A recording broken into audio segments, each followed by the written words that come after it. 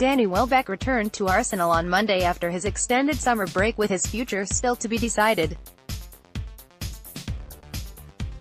New Gunners head coach Unai Emery made it clear to the England international that he was free to leave if he wanted to secure regular first-team football, with Pierre-Emerick Aubameyang and Alexandre Lacazette ahead of him in the pecking order at the Emirates. Talks have continued throughout the week at London Colney between Welbeck, Arsenal and his advisors, and there has been interest from several Premier League clubs about a potential move. but a number of clubs who contacted Arsenal were keen on a loan move for the striker, something the North London outfit were not keen on, considering he is now into the final year of his contract. So it has been decided that Welbeck will now stay at the Emirates and battle for his place in the team with Aubameyang, Lacazette and Eddie Nketiah.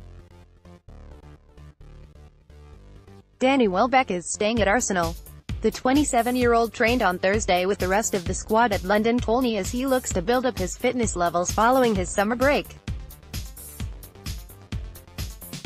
Meanwhile, Football, London has been told that tack of a late £90 million bid for Ousmane Dembele is completely false.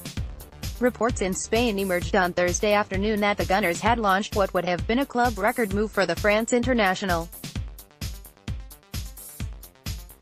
but a source described the story of nonsense, and confirmed there would be no further arrivals at the club before Thursday's 5 p.m. transfer deadline.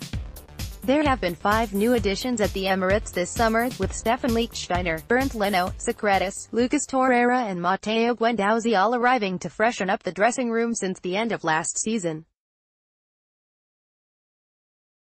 Keep up to date with the latest news, features and exclusives from Football London via the free Football London app for iPhone and Android. Available to download from the App Store and Google Play.